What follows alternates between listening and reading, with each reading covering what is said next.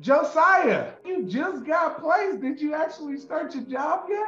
Yes, sir. Awesome. Tell us about what, what what's your job role? What do you do? And how long you been working there? I'm a Qlik developer for BI team for a pharmaceutical company. I've been there for about a week now, and uh, they threw me right in the fire. So I'm uh, already building dashboards and and uh, put to work.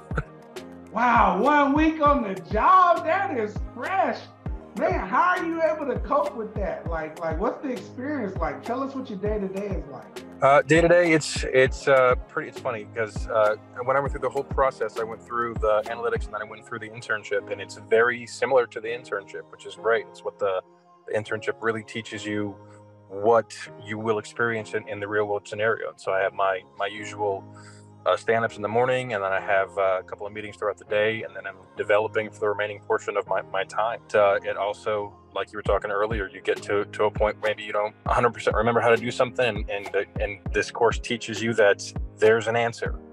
Find the answer and so it's with those skills that this job is it's i'm able to actually accomplish what i need to do in this job it's great you know some people get in they get in with these big organizations and they get to take their time. It takes like a couple of weeks to get access. You said they threw you in the fire right away.